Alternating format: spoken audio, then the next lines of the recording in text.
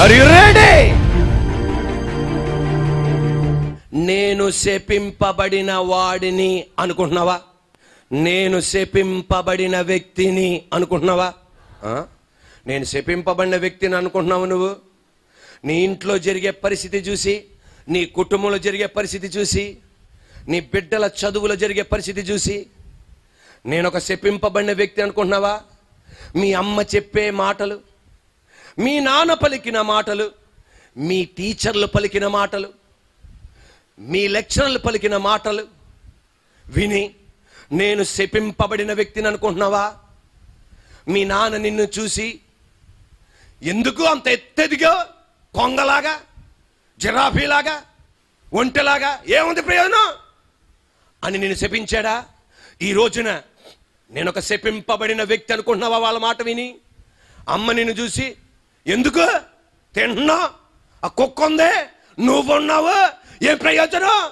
ఈరోజు ఆ అమ్మ మాటను విని నేను ఒక శపింపబడిన వ్యక్తిని అసలు నేను పుట్టింది ఎందుకు అని నువ్వు అనుకుంటున్నావా? ఈ రోజున టీచర్లు నిన్ను చూసి నీకు చదువక్కర్లా ఎక్కడన్నా కూలి పని చేసుకొని వెళ్ళి అని ఆ శపింపబడిన వ్యక్తి అనుకుంటున్నావా? మీ లెక్చర్లు నిన్ను చూసి ఎందుకు ఆ జీవితం? నువ్వు ఉన్నావు ఆ రోడ్డు మీద అది ఉంది. ఎందుకు నీ జీవితం? ఈరోజు చెప్పింపబడిన వ్యక్తి అనుకుంటున్నావా? సర్వశక్తి గల దేవుడు చెప్పేది ధర్మశాస్త్రము యొక్క ప్రతి శాపాన్ని నేను సిలువలో నేను భరించాను. నువ్వు ఆ శాపములో ఉండక్కర్లా. ఆ జ్ఞానోదయం ఈ పగటి వేళ నీకు కలిగి నాయనా ఆ శాపం నుండి నాకు విడుదల కలగాలయ్యా.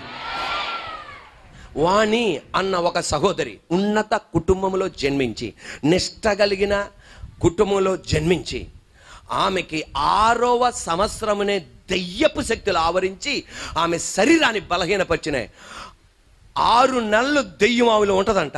మిగతా ఆరు నెలలు వెళ్ళిపోద్దంట. ఇదేదో పెద్ద గెస్ట్ హౌస్ లాగా ఆమెకి. దెయ్యంగడికి గెస్ట్ హౌస్. కొంతమందికి దెయ్యంగాడు కొంతమంది హృదయాలను గెస్ట్ హౌస్గా మార్చేసుకున్నాడు. ఈ రోజు నాడు గెస్ట్ హౌస్ కాదు మన ఇల్లు. అమేన్ హల్లెలూయా ఈ రోజున మన ఇల్లు ఆడి గెస్ట్ హౌస్ కాదు. మన హృదయాలు ఆడి గెస్ట్ హౌస్ కాదు. రాజుల రాజు నివసించే ఇల్లు మన ఇల్లు.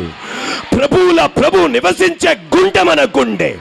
ఈ పిల్లను చప్పట్లు కొడుతుండగా సాతానుగాడు కొంతమంది హృదయాలను గెస్ట్ హౌస్గా మార్చుకున్నాడు I rebuke everything in the name of Jesus నసడైన యేసునామములో వాడి యొక్క మోటా ముళ్ళు సర్దుకొని ఈ రోజు నీ హృదయాలు నుండి బయటికి వెళ్ళిపోతాడంతే.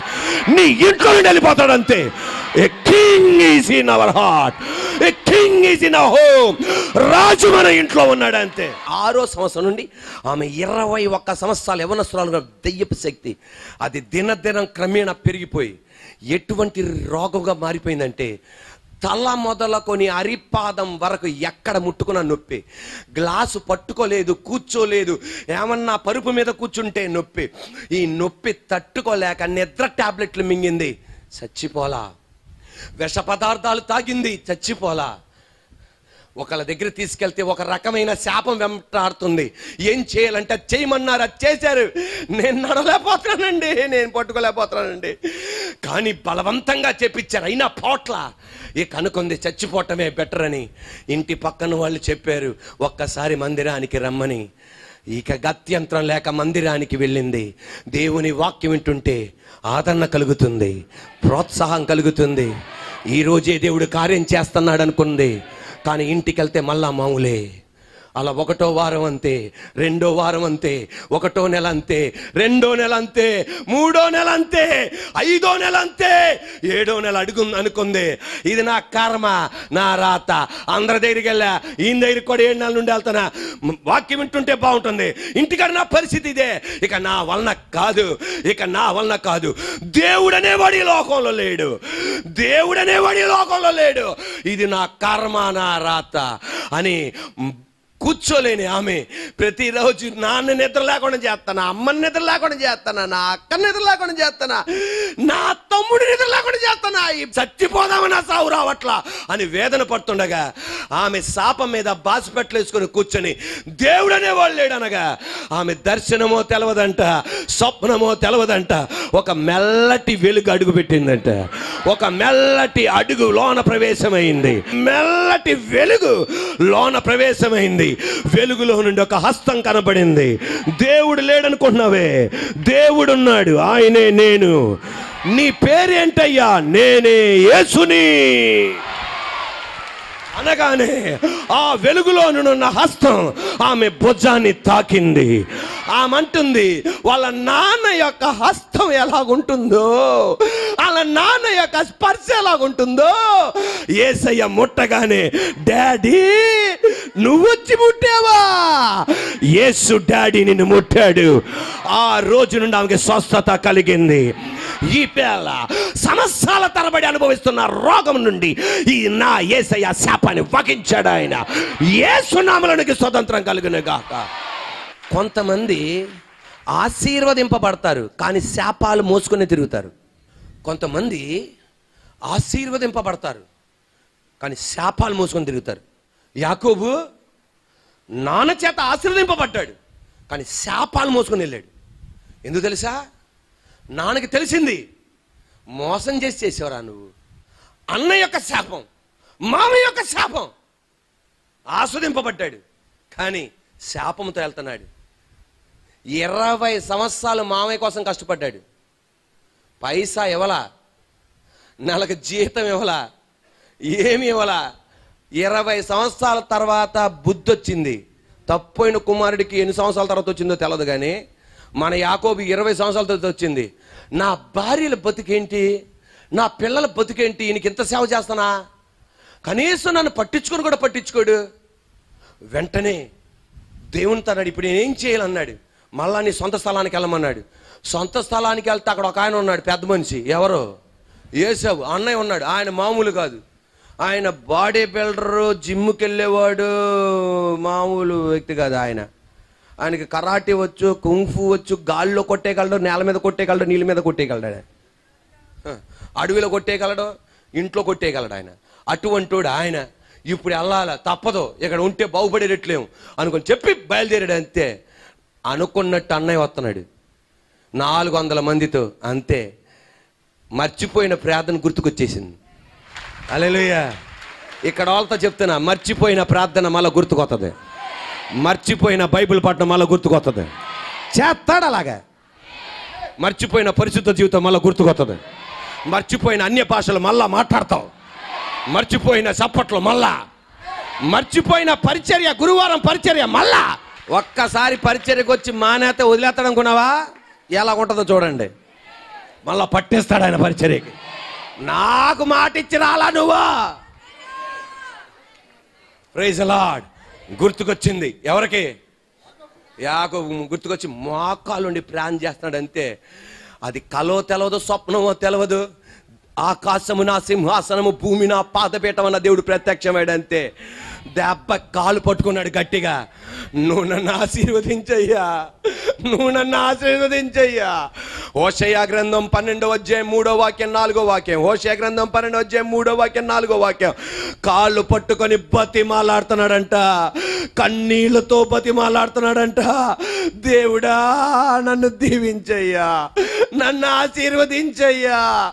ఆశీర్వాదాలు పొందుకున్నా పొందుకొని శాపమైన బతుకు బతుకుతున్న వ్యక్తి నేనే ఈ ప్రపంచంలో. బతిమాలి కన్నీళ్ళు కారుస్తూ నన్ను ఆశీర్వదించయ్యా నన్ను ఆశీర్వదించయ్యా. ఈ శాపంలో నేను బతకలేను తండ్రి. అనగానే తెల్లవారుజాము అయిపోతుంది దేవుడు అన్నాడు వదిలయ్యా జనాలు అందరూ వస్తున్నారు పొలం పనికి వెళ్ళడానికి. నేను వదలను. నువ్వు నన్ను ఆశీర్వదిస్తే తప్ప ఎప్పుడు దొరకవు దొరికావు. అల్లెలుయా. ఎప్పుడు ఎవడికి కనబడో నాకు నువ్వు దొరికావు. సత్తే నీతో సస్తా. బతికితే చెప్పింపబడినోడుగా బతకను. ఆశీర్వాదకరంగా నేను బతుకుతా. నన్ను ఆశీర్వదించయ్యా. నన్ను ఆశీర్వదించయ్యా. నా దేవుడు అన్నాడు నీ ఏడుపు దాటి వెళ్ళబోతున్నానే అమే మళ్ళీ చెప్తాను నండి నీ కన్నీళ్ళు దాటి వెళ్ళిపోలేకపోతానయ్యా ఏడు పాపు నువ్వు ఫస్ట్. నేను ఏడు పాపను. ఏడు పాప అయిన నన్ను వదులు రెండు వదలను. హల్లెలూయా. మళ్ళీ ఇప్పుడు ఆమె అనాలి. నన్ను వదిలిపెట్టమంటే నేను నిన్ను వదలను. నీ కన్నీళ్ళు నేను చూడలేకపోతున్నానయ్యా. "హే, ఎల్లు అనొచ్చు. కానీ నీ ఏడుపు చూసి నిన్ను దాటి నీ ఏడుపును దాటి వెళ్ళేవాడు కాదు. నీ కన్నీరును దాటి వెళ్ళేవాడు కాదు. నీ కన్నీళ్ళకైన జవాబిచ్చే నెలగా దేవుడు మార్చును కాక మళ్ళా చెప్తున్నాను నువ్వు బాత్రూములో కన్నీళ్ళు కారుస్తున్నావే. మంచం మీద పడుకొని నువ్వు కన్నీళ్ళు కారుస్తున్నావే. చర్చిలో వాక్యం విన్నప్పుడు కన్నీళ్ళు కారుస్తున్నావే. పిల్లల జీవితాన్ని చూసి కన్నీళ్ళు కారుస్తున్నావే. మనవరాల యొక్క జీవితాన్ని చూసి కన్నీళ్ళు కారుస్తున్నావే. మనవడి యొక్క స్థితిని చూసి కన్నీళ్ళు కారుస్తున్నావే. నీ కన్నీరు దాటి వెళ్ళలేను? ఏం కావాలి? ఏం కావాలి అన్నాడు. నన్ను నువ్వు ఆశీర్వదించు అన్నాడు మీ డాడీ ఆశీర్వదించాడు కదయా ఆస్వాదించాడు దాని పక్కన ఒక శాపం పట్టుకుంది. ఆశీర్వాదానికి నీకు మధ్య శాపం నిలబడుతుంది. నువ్వు ఆశీర్వదించావనుకో మా నాన్న ఆశీర్వాదం శాపాన్ని దాటలేకపోతుంది. కానీ నీ ఆశీర్వాదం పర్వతం లాంటి శాపాలను కూడా దాటగలదు. సముద్రం లాంటి శాపాలు కూడా దాటగలదు. దేవుడు అన్నాడు నిన్ను ఆశీర్వదిస్తున్నాను పో అన్నాడు. అలా కాదు ఇంకో మాట చెప్పు అన్నాడు. అది ఇంకో మాట ఏంటి అన్నాడు. ఇంకొక మాట చెప్పు అన్నాడు. నేను నిన్ను ఇస్రాయేలుగా మారుస్తున్నాను అన్నాడు. చాలా? ఆ, చాలు. అన్నాడు అన్న మాటకు అర్థం. Prince with God. దేవుడితో యువరాజు. అందరూ చెప్పండి. ప్రిన్స్ దేవునితో. యువరాజు. దేవుడు తర్వాత ఎలా ఉంటుంది చూడండి హాలెలుయ్యా హాలెలుయ్యా ఏసయ్యా కుడివైపు దొంగ.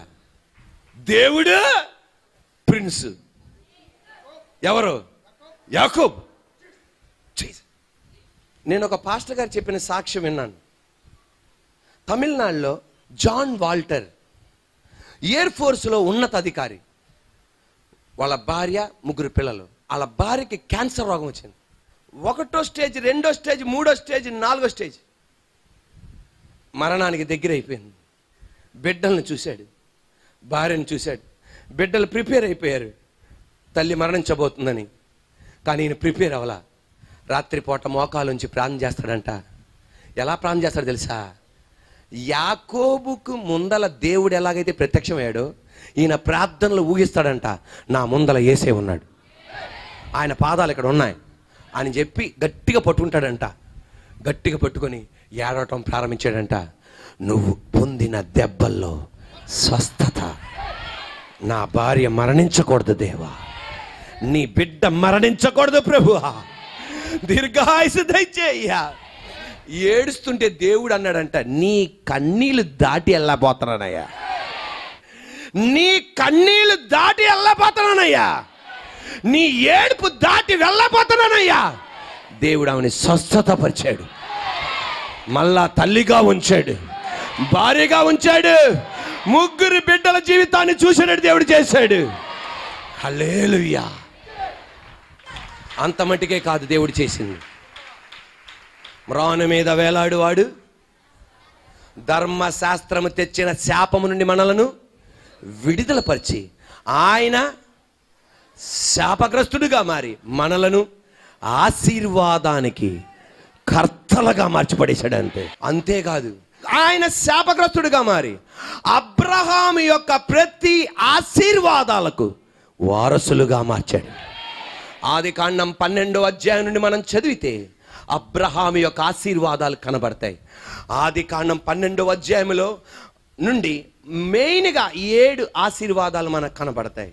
ఒకటి నేను నిన్ను గొప్ప జనంగా చేస్తా. రెండు నేను నిన్ను ఆశీర్వదిస్తా. మూడు నీ పేరు గొప్ప చేస్తా. నీ ద్వారా ఇతరులు ఆశీర్వదింపబడతారు. నువ్వు ఆశీర్వదించిన వాళ్ళు ఆశీ నిన్ను శపించిన వాళ్ళు శపింపబడతారు. నువ్వు నీ కుటుంబం ఆశీర్వదింపబడుతుంది. ఒక్క క్షణం. ఆర్ యు రెడీ ఎంతో వెల చెల్లించి ఆ ఆశీర్వాదాలు పొందుకున్నాడు. ఎవరో? కానీ నువ్వు నేను మనం వెల చెల్లించి కాదు. ఈయన వెల చెల్లించి. అల్లెలుయ్యా ఎంతో వెల చెల్లించి ఇంత గొప్ప వాగ్దానం పొందుకున్నాడు. కానీ నువ్వు నేను అబ్రహాముకు మించిన వెల చెల్లించి పరలోక రాజ్యం విడిచిపెట్టి మహిమను విడిచిపెట్టి దేవుని స్థానాన్ని విడిచిపెట్టి తన మహిమను విడిచిపెట్టి తన్ను తాను తగ్గించుకొని రిక్తునిగా చేసుకొని భూమి మీద నడిచి ముప్పై మూడున్నర సంవత్సరాలు బతికి గొప్ప వేళ చెల్లించి నీకు నన్ను ఆశీర్వాదకర్తలుగా మార్చాడు. ఈ రోజున ప్రతి శాపానికి నువ్వు అర్హుడు కాదు. ప్రతి ఆశీర్వాదానికి అర్హుడు. పాత నిబంధనలో ఒక భక్తురాలు ఉంది ఆమె పేరు రూత్. గట్టి చెప్పండి. ఆర్యుటిహెచ్ ఏంటిది? రూత్. పది తరాల దాకా మోయాబిరాలు పది తరాల దాకా. దేవుడి దగ్గరికి వచ్చి దేవుడా అని పిలవకూడదు. అటువంటి ఆమె. అతి పరిశుద్ధ స్థలానికి వస్తే పడి చచ్చిపోతారు. అటువంటి కాలంలో ధర్మశాస్త్ర యుగంలో ఆమె వచ్చి డాడీ నన్ను ఆశీర్వదించవా? లేలుయా డాడీ నన్ను ఆశీర్వదించవా? డాడీ నన్ను ఆశీర్వదించవా? ఇటు రామ్మ అన్నాడు. రాకూడదుగా అన్నాడు. డాడీ అని పిలిచావు రా అన్నాడు. ఏంటి ప్రాబ్లం అన్నాడు. నా బతుకు ఇలాగ అయిపోయింది అన్నాడు. నిన్ను ఈ ఇంటికి యజమానురాలుగా మారుతున్నాను పో అన్నాడు. హల్లెలూయా. డాడీ నేను విధవరాల్ని నీకెందుకమ్మా? నేను చూసుకుంటాగా? శపింపబడిన బతుకులకు నేను ఆశీర్వాదం తెస్తానన్నాడు. నీకెందుకు? నా దేవుడు చేస్తాడు. సిస్టమ్ మార్చేస్తాడు అంతా. సాఫ్ట్వేర్ మార్చేస్తాడు కావాలంటే హార్డ్వేర్ కూడా మార్చేస్తాడు. డిలీట్ బటన్ దగ్గర డిలీట్ నొక్కేస్తాడు ఎజెక్ట్ దగ్గర ఎజెక్ట్ నొక్కుతాడు పాస్ దగ్గర పాస్ నొక్కుతాడు కామ దగ్గర కామ పెడతాడు ఎక్స్మీటర్ దగ్గర ఎక్స్మీటర్ పెడతాడు. షిఫ్ట్ బటన్స్ నొక్కుతాడు అంతే ఇక ఎవ్వడికి అర్థం కాదంతే.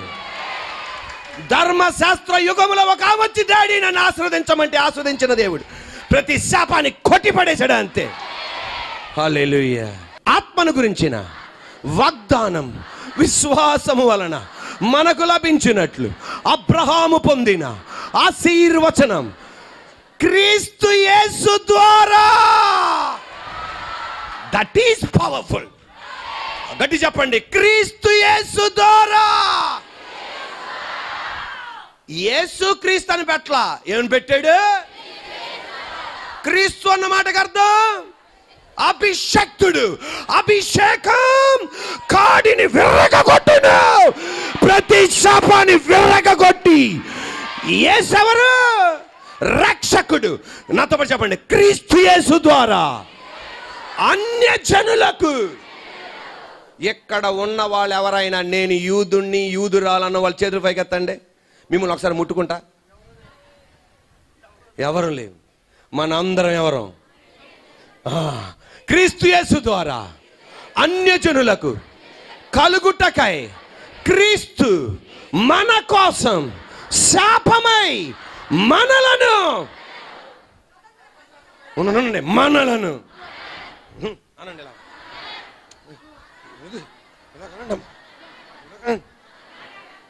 ఎవరిల్లు అంటే మా ఇల్లు అండి ఆడోళ్ళు భలే అంటారు దాంట్లో. మా ఇల్లు మా ఇల్లు ఎవరండి ఏ బాబు? మా అబ్బాయి మా అబ్బాయి మా అబ్బాయి. అలేలియా నాన్నలు అలా వ్యక్తం చేయరు కానీ అమ్మలు మాత్రం నాన్నలు మాత్రం కొంచెం క్లాస్గా ఉంటారు. అందరి ముందర చెప్పరు పక్కన వాళ్ళు చెప్తుంటారు. అది అమ్మకి నాన్నకి ఉన్న డిఫరెన్స్. అమ్మ చూపెడుతుంది నాన్న చూపెట్టాడు. దానికి పెద్ద మీరు అరి రెడీ నాతో వచ్చామండి ఆ, క్రీస్తు మన కోసం శాపమై ఆ, మనలను. ఆ, అందరూ ఇలాగ మనలను. ధర్మశాస్త్రం యొక్క ఇంటికి వెళ్ళి చదవండి ద్వితీయోపదేశ కానీ ఇరవై ఎనిమిది పదిహేను నుండి. ఆ ధర్మశాస్త్రం యొక్క శాపము నుండి విమోచించను రిడీమ్డ్ ఇందును గురించి మ్రాను మీద వేలాడిన ప్రతి వాడును శాపగ్రస్తుడని. రాయబడి ఉంది.